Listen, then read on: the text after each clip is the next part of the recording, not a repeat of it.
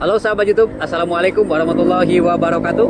Kembali lagi bersama channel Eko Azah uh, Kali ini saya akan coba melihat situasi sekeliling Di stasiun Tegaluar dan juga di uh, flyover Cibiru Spesial hari ulang tahun kemerdekaan Republik Indonesia yang ke-78 Dan suasana di sekitar GBLA sore hari ini sangat ramai sekali ya. Oke kita akan terbang.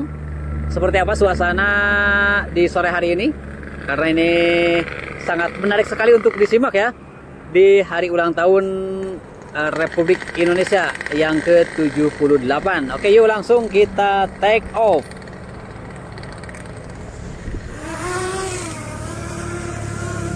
Baik sahabat YouTube uh, seperti biasa kita akan berkeliling.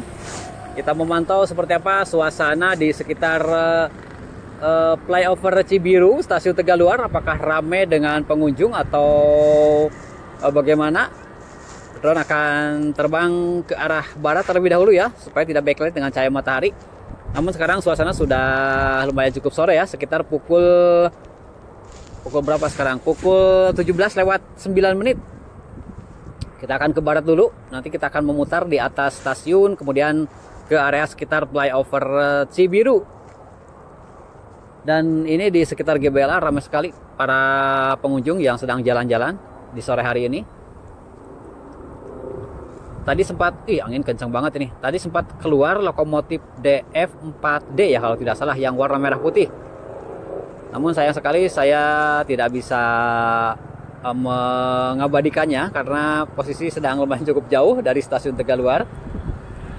Oke sahabat YouTube, di sini kita memutar ya dan cuaca sore hari ini lumayan cukup cerah walaupun matahari sudah mulai terbenam nih di ufuk barat. Penasaran ke arah overpass Cibiru ya? Sepertinya banyak masyarakat yang berjalan-jalan tuh terpantau dari kejauhan. Nanti kita akan ke sana. Dan insya Allah eh, di minggu depan saya kembali akan update lagi di stasiun kereta cepat Padalarang.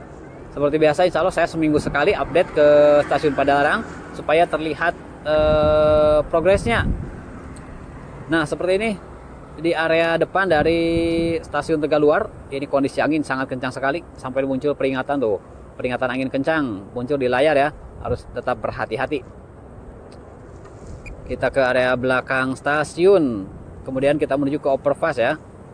Harus diturunkan ketinggian ini di 50 meter pas ini dan nampaknya sore hari ini uh, aktivitas kemungkinan libur ya hari uh, kemerdekaan ini 17 Agustus.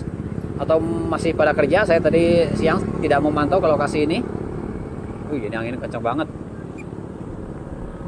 Kita ke overpass saja sahabat itu tuh anginnya terpantau sangat kencang waduh.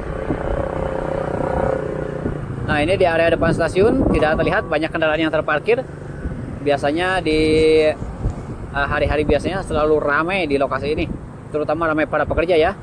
Nah, untuk di overpass sendiri tepat di ujung selatannya, tuh di ujung selatan ini tidak tidak begitu ramai yang melintas. Namun ini di uh, bundaran sudah terlihat rapi nih, terutama akses dari arah jalur warga tuh yang memutar itu pembatas uh, jalannya sudah selesai nampaknya ya, sudah terlihat uh, lebih rapi dibandingkan beberapa hari kemarin waktu saya melintas di lokasi ini masih ada ini masih dalam pengerjaan nih. Dan sekarang sudah rapi ya. Uh, tembok pembatasnya sudah selesai pengerjaannya nampaknya tuh. Tinggal di uh, area tengah bundaran dan di segitiga itu uh, dipasangi atau ditanami bunga-bunga atau semacam apa namanya semacam hiasan atau lampu gimana ya supaya terlihat lebih uh, bagus dan lebih indah lagi. Nah seperti ini di area sekitar bundaran antara akses masuk stasiun dan juga akses warga. Kita coba melihat dulu ke area stasiunnya. Turunkan dulu ketinggian di 45 meter nih. Nah seperti ini. Ini area stasiun Tegaluar sahabat YouTube di bagian depan yang sudah dipasang papan nama stasiun. Oh, papan namanya sudah terpasang. Nah, ini nih. stasiun KCIC Tegaluar ya. Tulisannya KCIC Tegaluar. Oke, mantap. Selanjutnya kita ke arah utara dari uh, flyover Cibiru. Tuh update-nya di sini sudah rapi ya di area sekitar eh, bundaran. Oke, kita bergerak secara perlahan. Nampaknya tidak begitu ramai nih masyarakat yang uh, berkunjung atau melintas di flyover Cibiru ini.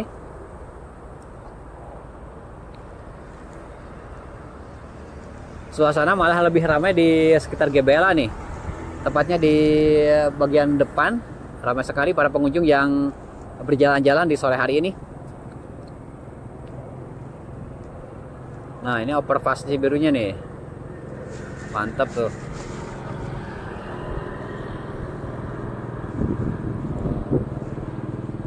Kemudian untuk uh, perlintasan sebidang yang sudah dibongkar seperti itu sudah terlihat rapi ya. Kita ke utara dulu, kemudian nanti kembali lagi Nah, ada beberapa orang di atas flyover. Ada mohon maaf ini pasti berisik sekali nih. Banyak kendaraan yang melintas di sekitar uh, stadion GBLA.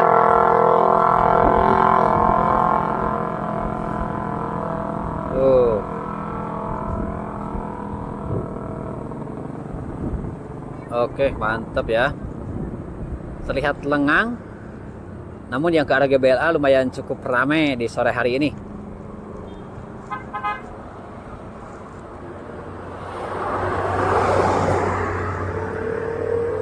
Nah, seperti ini sahabat YouTube.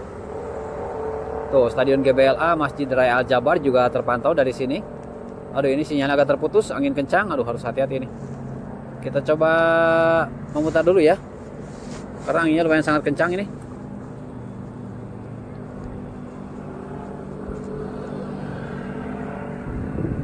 Oke, kita berputar di sini. Kita kembali, kita mantau dari sisi utara ke arah selatan. Dengan terbang di ketinggian masih 50 meter. Saya akan coba menelusuri tepat di atas flyover nih. Wow, anginnya kenceng banget. Nah, seperti ini sahabat YouTube. Nanti kita akan melihat di sekitar perlintasan sebidang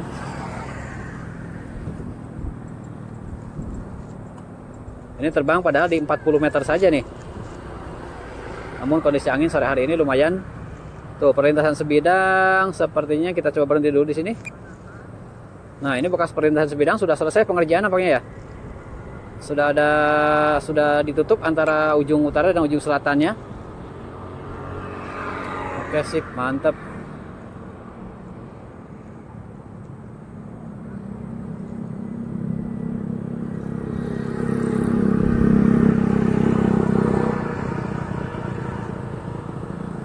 Oke, kita coba pantau dari arah timur ke arah barat.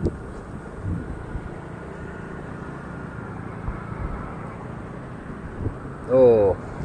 Wih, lebih bagus lagi ya. Terutama di sekitar flyover ini pembatas antara oh stop body ini kencang banget. Wih. Pembatas antara ujung uh, apa namanya pembatas barat dan timur flyover.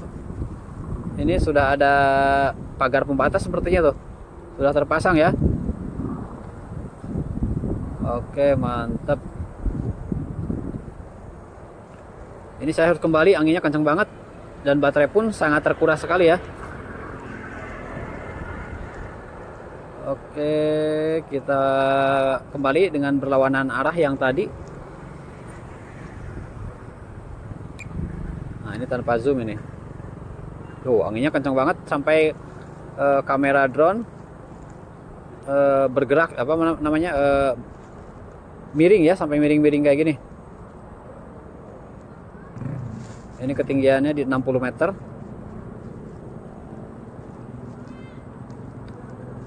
Oke sahabat YouTube saya kira cukup ya untuk pantauan di sore hari ini. Semoga tayangan ini bisa bermanfaat bagi sahabat semua. Setidaknya bisa dijadikan suatu gambaran mengenai kondisi uh, di sore hari ini, tepat hari Kamis tanggal 17 Agustus 2023 sekitar pukul uh, eh, 5 sore.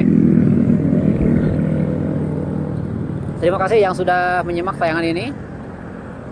Dan sekali lagi jangan lupa like, komen, dan subscribe channel Eko Aza agar bisa terus mendapatkan informasi dan updatean terbaru seputar progres kereta cepat Jakarta Bandung dan juga nanti saat uji coba semoga saja eh, saya bisa mengikuti secara langsung di dalam EMU kereta cepat Jakarta Bandungnya dari eh, stasiun Tegaluar tentunya sampai ke stasiun Halim di Jakarta Timur.